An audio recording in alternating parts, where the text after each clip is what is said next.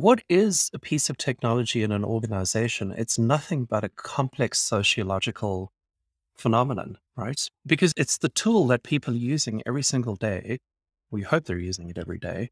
That they're that they're using to get their work done under the pressures that they're experiencing, which are often not pressures that the technologists understand. Approaching it really as a sociological experiment, as a sociological study is going to put you in a position for the maximum success because you understand the sentiment, you understand the emotion around the current tools, the current processes that people are working on. CTIO 101 Business Technology, Simplified and Shared.